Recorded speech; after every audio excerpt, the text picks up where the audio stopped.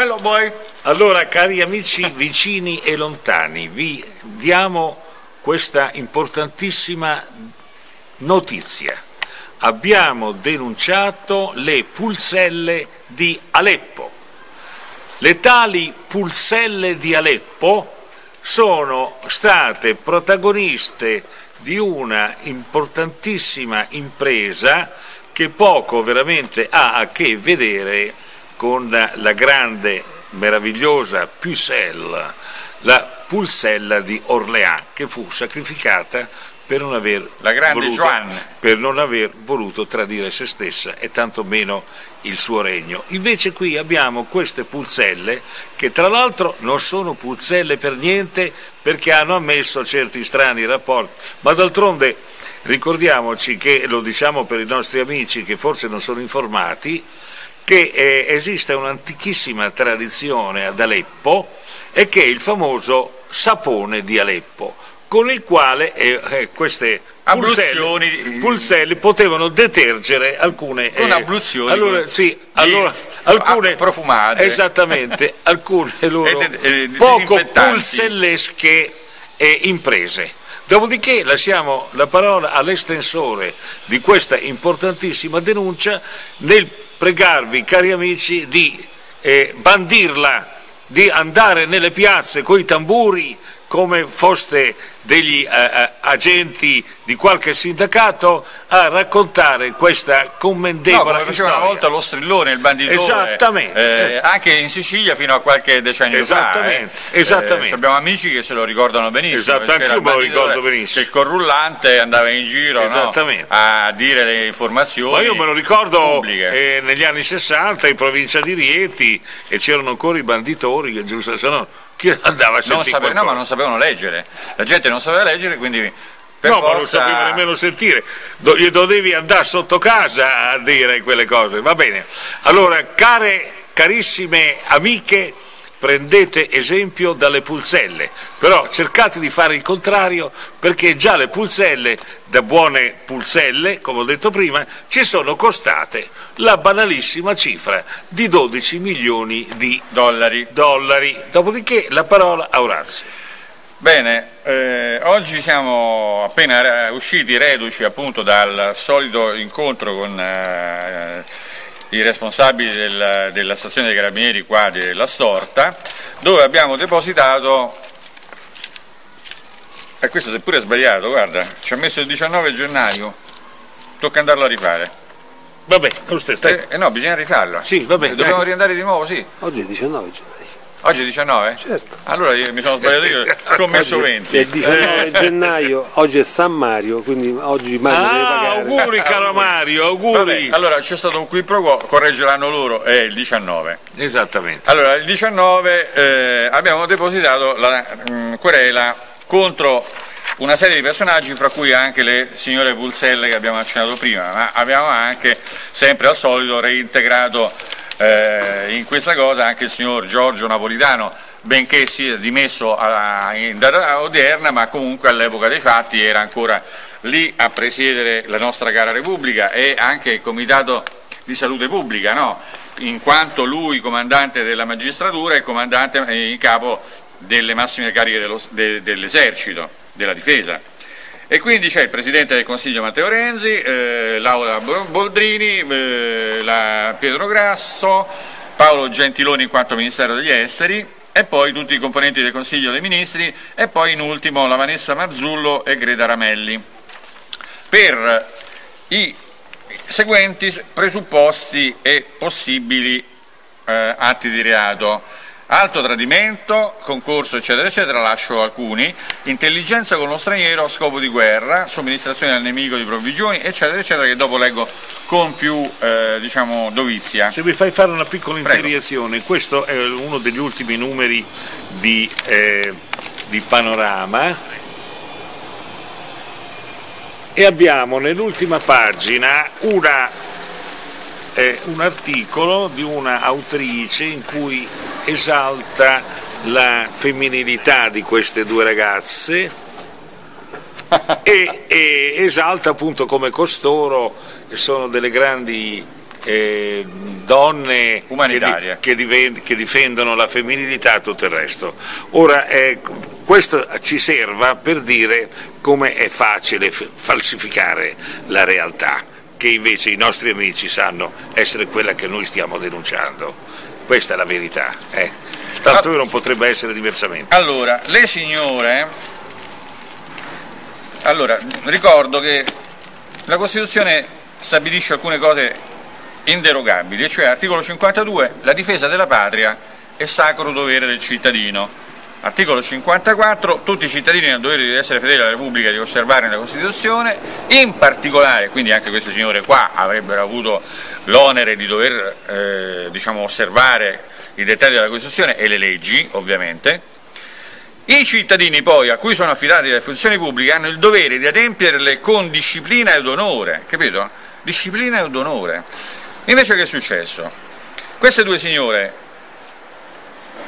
invaghite del progetto demenziale della ricostituzione del califfato e tutte le porcherie varie che si ruotano attorno a questa immensa cazzata abominevole in ritardo sulla storia di alla oltre quale mille anni, nessuno crede. alla quale ovviamente E nessuno per crede. cercare di affalorare, di far credere a tutte queste idiozie, hanno fatto partire l'attentato di Parigi. Il fine è proprio, a- a- oltre a altri fini che noi conosciamo, tra cui anche l'assassinio di Bernard, Bernard Marie, eh, certo. eh, Marie, però eh, serve per spaventare la- il mondo cosiddetto occidentale cristiano. Ecco. Vabbè, però non ci crede più nessuno a queste balle. Allora, queste due ragazze, molto diciamo, superficialmente edotte del problema sicuramente, ma poi anche molto raggirate da passioni di basso livello, senza entrare troppo nel dettaglio, ad un certo punto sono state convinte a convergere verso la Siria, entrando illegalmente, illegalmente dalla Turchia in Siria. Eh, quindi va detto anche che non, non erano lì come un clandestino che arriva in Italia senza documenti, loro erano lì in questa fattispecie. Esattamente. E chi le ha aiutate, viva Dio? Oh, e questo Ecco. è, è descritto, Orsù su via, viva è descritto benissimo nella prima parte della querela che poi ve la andate a leggere. E, eh, dopodiché le, le- le nostre signore non si sa bene che cosa abbiano fatto lì, perché andare a portare i medicinali non l'hanno portati, andare a portare aiuti a- a- ai bisognosi e ai malati non sembra che le abbiano portati. Andare a portare un pezze per il culo, ancora ad un meno. certo punto, non si sa come, il 31 luglio vengono catturate dagli- dai, dai guerriglieri dell'ISIS, i quali guerriglieri dell'ISIS insomma, dicono tutta una serie di cose, ma insomma, qui per ricostruire il fatto basta semplicemente andare a leggersi quello che c'è scritto, diciamo, gli, strilloni del web e vedere cosa dicono i vari quotidiani, diciamo, i titoli di- di- di- di E giustamente tu hai riportato questi titoli per far vedere esattamente di che si tratta. Esatto, nel- Che la nostra denuncia non è campata per aria. Qui parliamo sempre di titoli di giornali di letteratura nazionale, quindi tutti eh, fino a prova contraria da, da smentire e, e quindi in questo momento verità eh, eh, diciamo Esattamente, conclamata, incontrovertibile. invertibile. Insomma, all'inizio di settembre praticamente fino al, al- al- al 3 agosto, se mi ricordo bene, non c'era una eh, situazione di belligeranza fra la comunità europea, Nato o Stati Uniti eh, o Francia o chi sia contro l'ISIS, ma dal 3 agosto eh, eh, praticamente eh, eh, diciamo, sono state autorizzate dalla Nato i bombardamenti nei confronti dell'ISIS. Dopodiché c'è stato un successivo incontro eh, il 3 Poi dicembre. noi non sappiamo che cosa hanno bombardato, eh? Ah, ricordiamoci bene. oltretutto. Comunque ufficialmente Ecco. la Nato è in guerra contro l'ISIS dal 4 o 3 agosto. Quindi eh, qua ci sono eh, state altre poi eh, lanci eh, di agenzia, non entro nel dettaglio, ve lo andate a leggere e eh, ad un certo punto ehm, Mm, pare che questi bombardamenti com- comunque siano stati del tutto inefficaci perché eh, a quanto pare l'ISIS addirittura è, tol- è tornato di nuovo a Kobané che evidentemente non dovevano bombardare l'ISIS. Ecco, eh, c'era qualche altra cosa.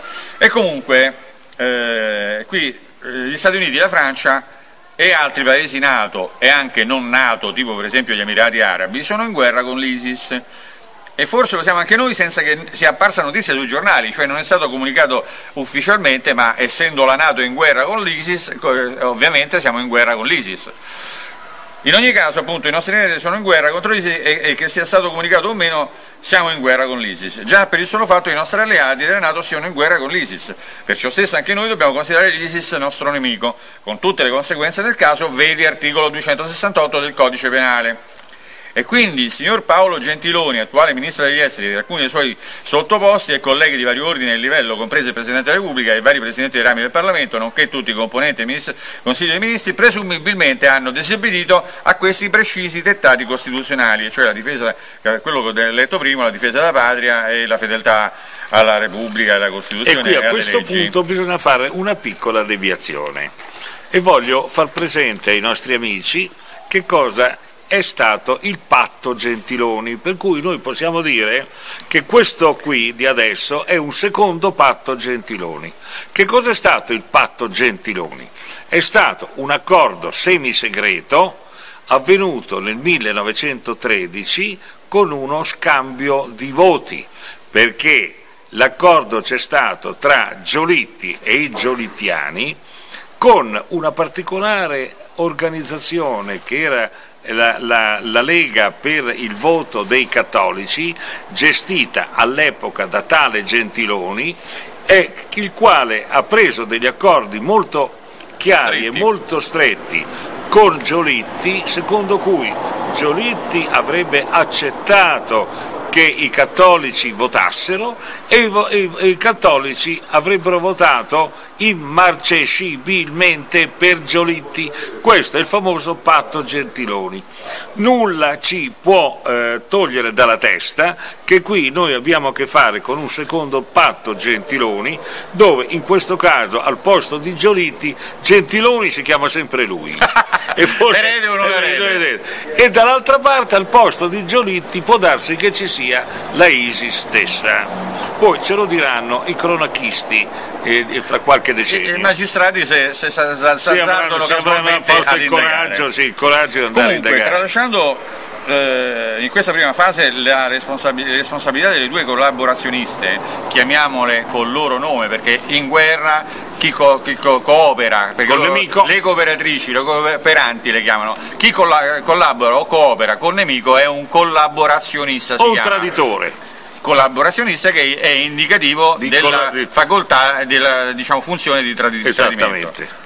Eh, quindi, eh, eh, tralasciando appunto la, la, i due collaboratrici e stracciando momentaneamente e parzialmente la loro posizione, occorre fo focalizzare e puntare l'attenzione sul comportamento tenuto dal nostro governo, in particolare dal ministro Paolo Gentiloni, che con le sue decise e precise prese di posizione ha assunto responsabilità certamente non giustificabili e coerenti col dettato dei seguenti articoli del codice penale, con ciò rendendo concretamente supponibili talune o tutte le fattispecie dei seguenti possibili reati.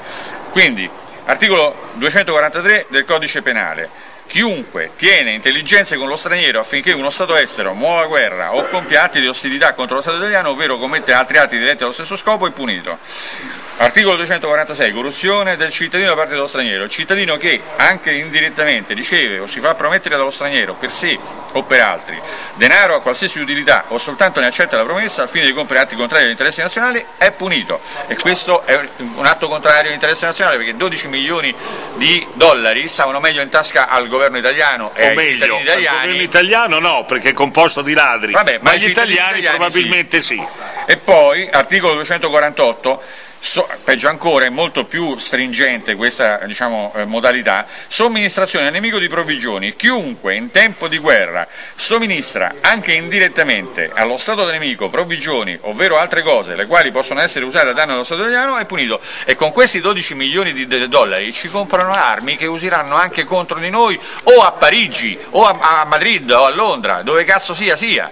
Cioè, è qui il concetto. Qui a non... proposito di provvigioni, di approvvigionamenti, queste due ragazze che chiameremo, continueremo a chiamare le pulselle eh, perché ci va di chiamarle pulselle, cioè, cioè fa ridere insomma questa cosa, mi ricordano molto le vivandiere che c'erano negli eserciti una volta, che svolgevano... A seguito, a seguito de, eh, delle masserie, sì, eh, a, a, a, seguito delle... delle, eh, delle vivandiere, eh, vivandiere. Eh, si chiamavano vivandiere, sì. che cosa poi fo fornissero ai soldati, eh, che lo lasciamo pensare cordiale. E poi, Davano il cordiale. il cordiale, avevano un atteggiamento molto, molto cordiale. e spesso ritornavano a casa arricchite. Andiamo, proseguiamo. Allora, eh, eh, non è detto che queste signore non siano tornate arricchite. Eh? Ma di quello è sicuro, perché qualcuno mi dovrebbe dire dettagliatamente dollaro dopo dollaro a, a, chi sono andati a finire questi 12 milioni di dollari.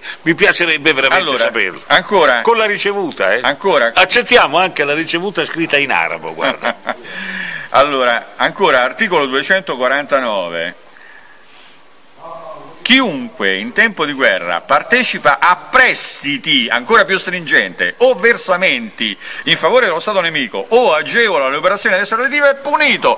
Quindi signor Gentiloni che dice che non è vero, che sono stati pagati eh, penali e quant'altro, dice cazzate. Poi ci arriviamo. Allora, 250, articolo 250, commercio con nemico. Qualora il cittadino o straniero dimorante nel territorio italiano, dello Stato, il quale in tempo di guerra o fuori dai casi indicati dall'articolo 248 commercia anche indirettamente con i sudditi dello Stato nemico, ovunque dimoranti, ovvero con altre persone dimoranti nel territorio dello Stato nemico, è punito. E poi, ed è qui la conclusione del ragionamento, Parificazione degli Stati alleati, articolo 268. Le pene stabilite negli articoli 247 e seguenti, quelli che ho eh, elencato qui, si applicano anche quando il delitto è commesso a danno di uno Stato estero alleato o associato a fine di guerra con lo Stato italiano. Allora, siccome noi facciamo parte delle Nazioni Unite, della Nato, di la, tutte le altre varie organizzazioni internazionali, eh, soprattutto europee, di difesa, eh, diciamo, eh, come si dice? Eh, la CSCE eh, dell'Unione Europea stessa. Eh? Vicendevole, quando qualcuno fa un reato contro uno degli stati dei nostri alleati fa un danno a noi e quindi pure se noi non fossimo in guerra, ma il che non è perché noi siamo in guerra, anche se non ce l'hanno mai notificato, andatevi a vedere le, le, note ufficiali e troverete che c'è uno stato di guerra perché eh, i bombardamenti non è che si fanno a casa degli altri per caso, si fanno solo dopo una dichiarazione di guerra, va detto a questo proposito che cosa dice il web? E quindi seguiamo l'escursus dei titoli web che abbiamo visto già prima, eh, li abbiamo rimandati ma li ho elencati e sempre a tiratura eh, nazionale su, a, in merito alle due collabora, collabora, collaborazioniste e quindi dice insomma eh, hanno detto loro hanno diciamo, affermato di non avere nessuna responsabilità nel rapimento però allora qui ci devono spiegare come mai qui c'è questa foto in apertura che è la rappresentazione di un video che eh, diciamo, è stato messo in rete certamente non da me no? in cui una legge il manifesto in cui c'è scritto la data eh, in cui si è svolta la registrazione e la signora che sta qua a fianco che dice per favore pagate il riscatto perché vogliamo essere liberate. Allora, adesso hanno detto che poi fra l'altro torneranno presto in Siria. Mi pare giusto. Eh, no, ah, ah, no vanno, vanno, a prendere il malloppo, eh, certo, vanno a prendere il la percentuale. Allora, eh, e quindi eh, loro dicono insomma aspetta che lo li, li cito, eh,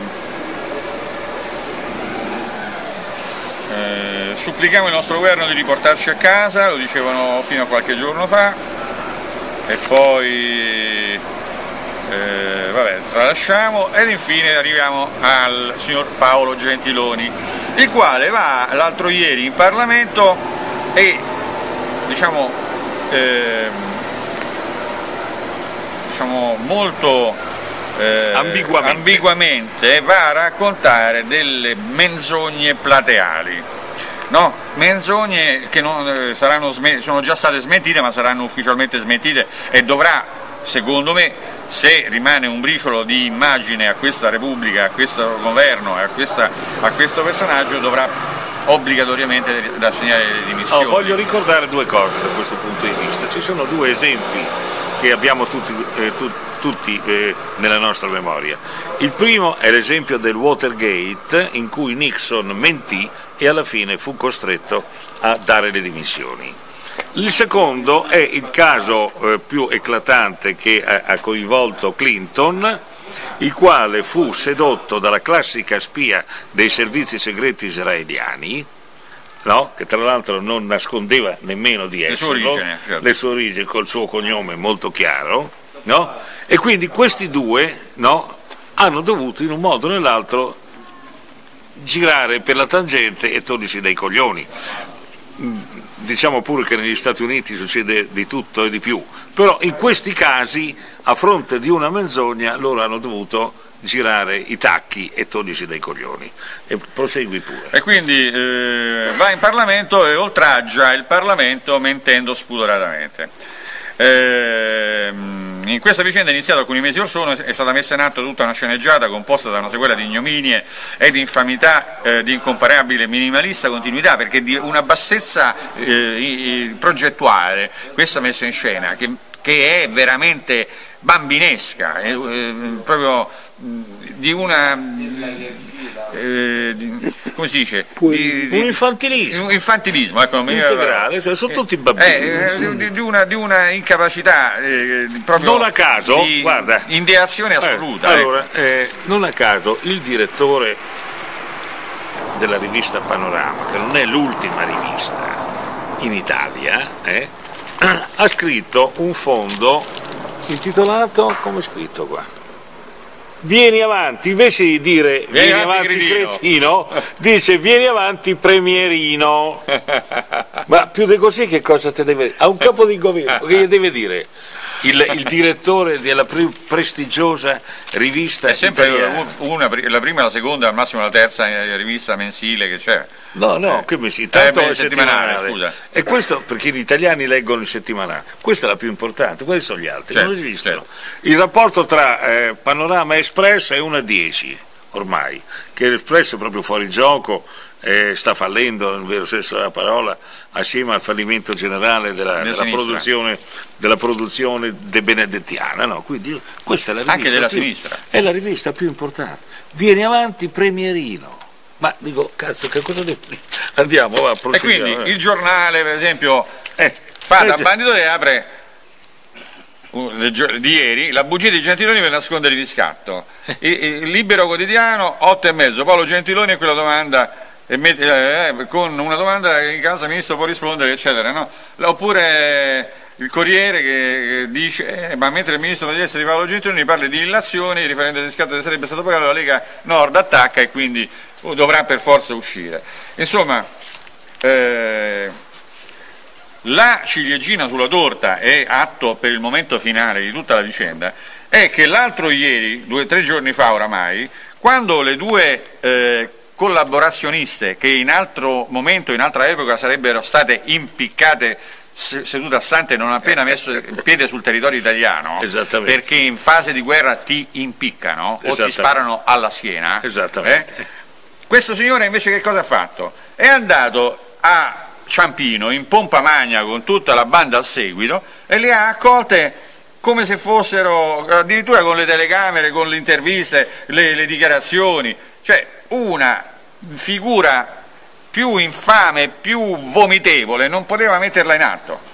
E, su, e, e quindi ecco, ben inteso, una banda a base di caccavelle, di eh putipù, sì, eh certo. di scetate faiasse, eh, capito? E, e questo lo dice, caccavella, lo dice, e, pum, pum, pum, e, e, questo lo dice il quotidiano, lo dice la Repubblica, sì. lo dice, eccolo qui il nostro bel tomo, eh, lo dice la bugia, ecco di nuovo il giornale di ieri, il giornale, il giornale di ieri, e poi ancora l'Eco di Bergamo di due giorni fa, e poi ancora TG4, TG24 Sky. Ma è, una, è, uno schifo. E che cosa dice infine, Dulcis in fondo?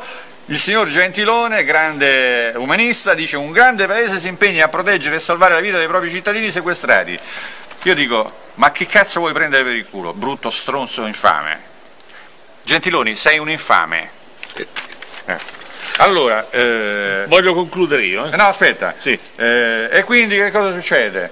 Eh, a questo punto è da ritenere di essere ben pensanti, ma noi, come detto, pensiamo molto male perché a pensare male si fa sempre bene. Come diceva il grande Ossi- Andreotti, Ecco, un ossimoro, ma è un ossimoro eh, logico, non un ossimoro di, eh, diciamo, operativo. Si dovrebbe ritenere che il signor Paolo Gentiloni non ha la minima idea del dettato legislativo nazionale, altrimenti, ed è pure un ignorante, un perfetto ignorante somaro, no? altrimenti non sarebbe fare le affermazioni qui, sia sopra che sotto, elencate. E qui lo dice pure eh, ADN Cronos, il governo italiano non paga, paga, riscatti, dice Gentiloni, lo dice, ma poi vediamo se la verifica sarà fatta o meno, lo dice l'Aggi, l'unità di crisi, tutto il lavoro di squadra, il lavoro di squadra, costa, il no? blitz eh, quotidiano, no? 12 milioni, un riscatto di... ma se lo sono inventato questo? Cioè, se a, a, eh, allora quello che scrive un qualunque cittadino e a maggior ragione anche un organo di stampa accreditato ufficialmente da decenni, da secoli di, di esistenza, è fino a prova di, di, di sentenza contraria, è vero, e quindi se nessuno li i, i, diciamo, denuncia, li querela, vuol dire che quello che dicono i giornali è vero.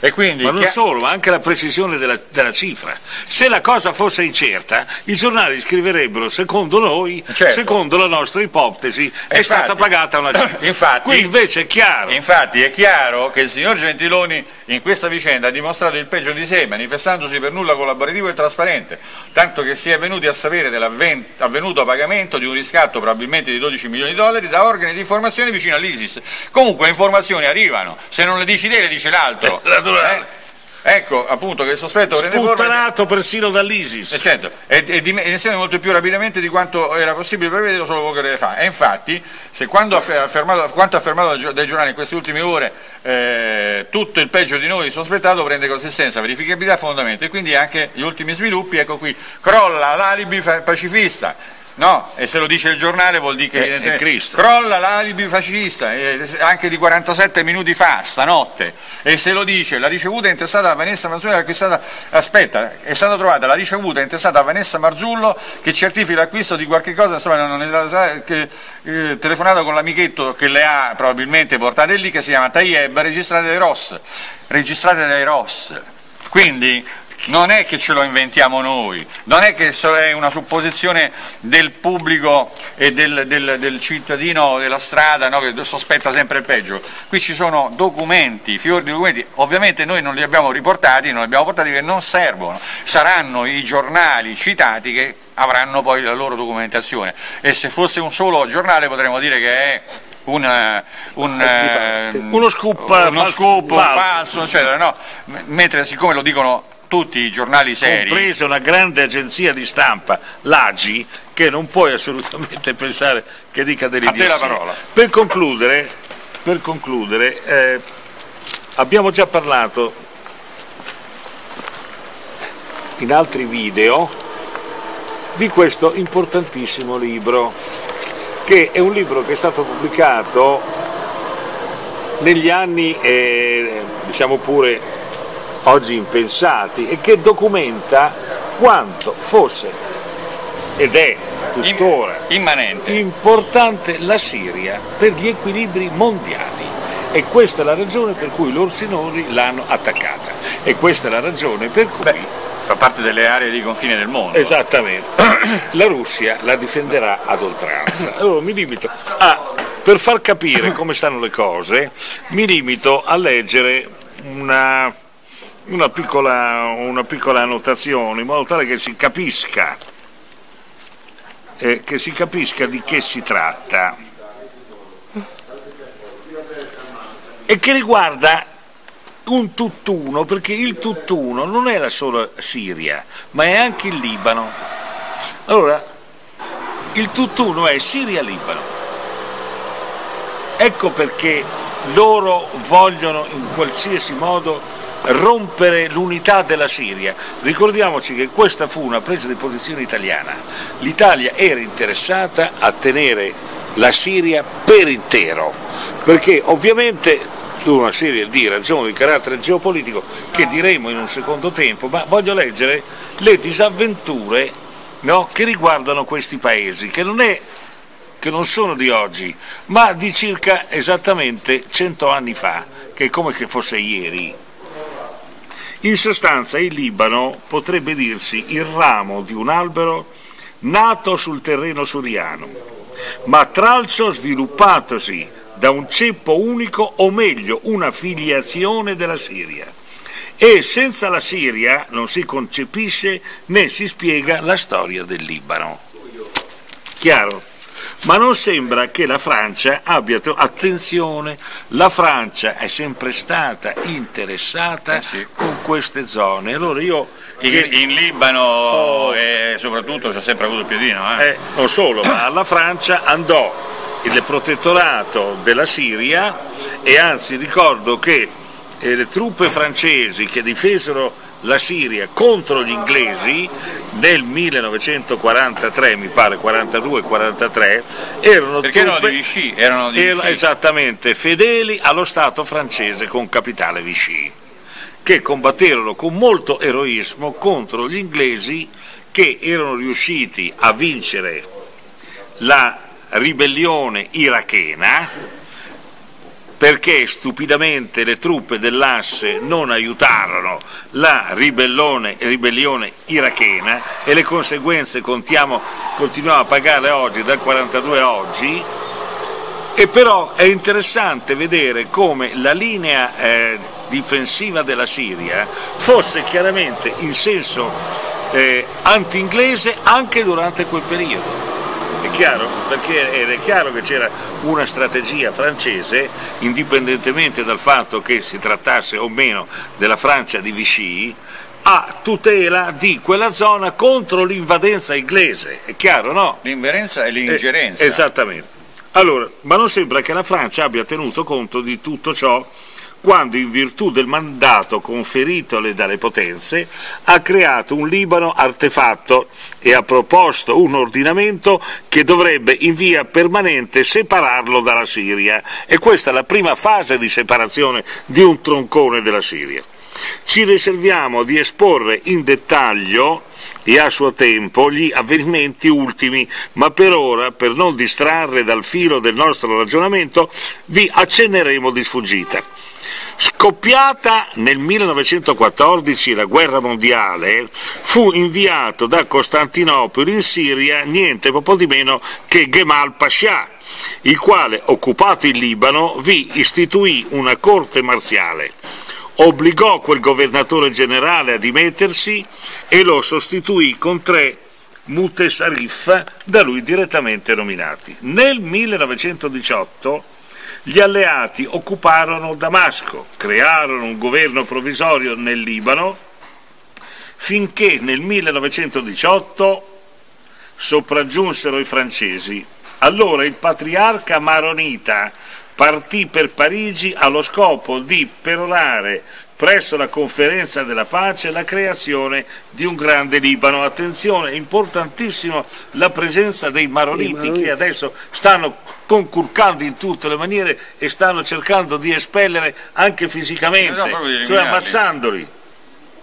L'8 ottobre del 1919 il generale francese Gouraud si insediò in Siria, alto commissario e comandante delle truppe del Levante, e a lui gli inglesi cedettero le zone siriane settentrionale e occidentale da essi occupate. Intanto l'8 marzo 1920 l'emiro Faisal, l'emiro Faisal, attenzione, Che poi è veniva diventato re? quello, certo, eh, Levino Faisal, quello famoso amico di Lawrence, veniva da un congresso nazionale siriano eletto re di Siria. Ah, quindi Qua- era lui. Quattro mesi più tardi il generale Gouraud ne sconfiggeva le truppe, occupava Damasco ed Aleppo, ossia anche la Siria interna, e il re Faisal se ne ritirava. Un'insurrezione turca scoppiava al nord, nei territori di Aintab, Marash e Uffa, occupata dai francesi, i quali finivano con ritirarsi.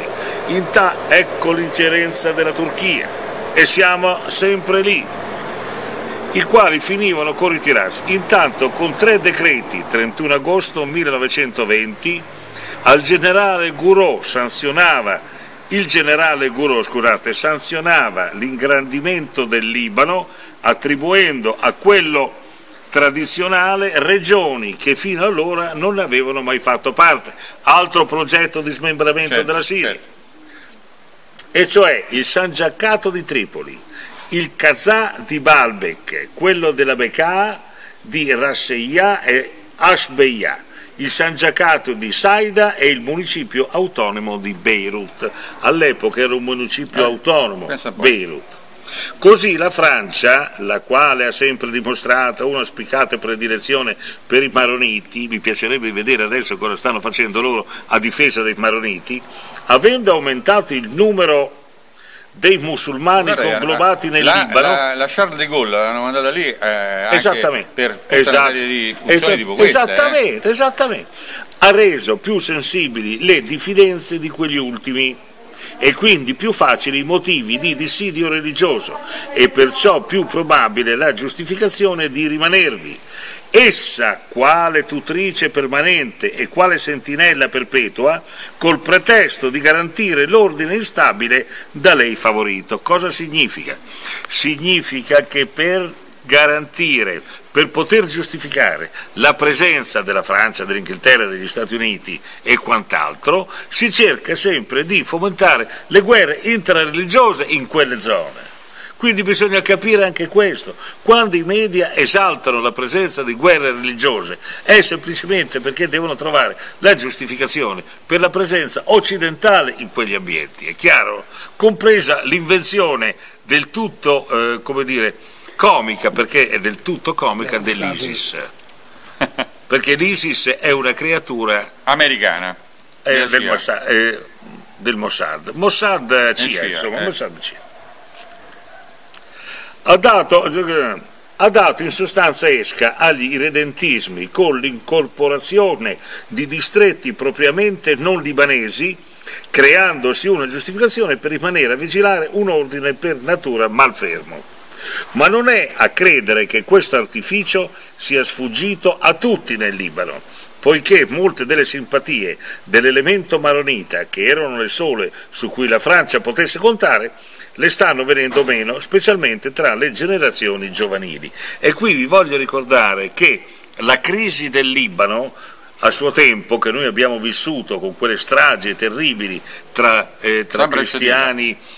Eh, no, no, no. Ah, prima, ah, Sì, prima. sì, sì, cristiani, ma quella guerra civile interna, no? I maroniti, i cristiani, Le stragi terribili, diciamo le faide, faide. faide interne, no? Gemayel, ti ricordi Sì, Gemayel, no. eccetera, eccetera.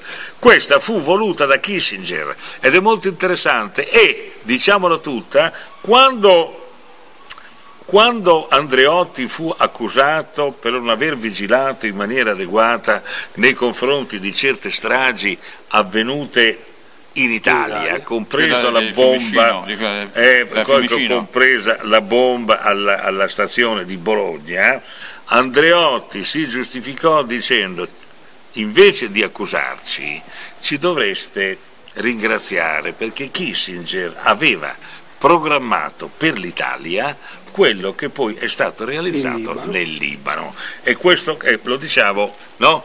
Ai nostri amici in modo che sappiano e che sappiano anche che noi la storia la conosciamo. eh. Il generale Gouraud creò uno Stato indipendente del Grande Libano e vi pose a capo non un gov- governatore indigeno, ma uno francese ed istituì altresì una federazione siriana conglobante i tre stati di Damasco, Aleppo e gli Alaviti. Guarda un po' che cos'è oggi la, la Siria. È una confederazione di tre stati, Damasco, Aleppo e Alaviti. Con i suoi successori si verificarono altre modificazioni sinché l'alto commissario, senatore de Jouvenel, il famoso ambasciatore de Jouvenel, ebbe a creare una repubblica parlamentare libanese.